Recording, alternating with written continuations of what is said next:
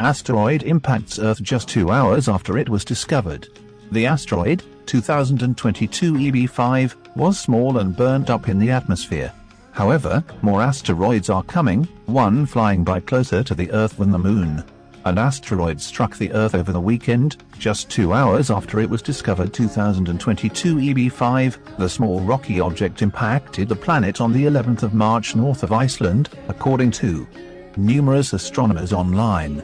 At just 3 meters wide, 2022 EB5 was around just half the size of an average male giraffe, which grows to be around 5-6 meters in height. As such, it was unlikely to do any damage if it had impacted the planet.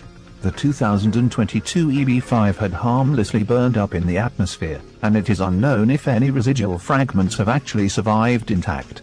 Some in Iceland have reported hearing a boom or seeing a flash of light around this time, and the International Meteor Organization is looking for witness reports of anyone who may have seen anything.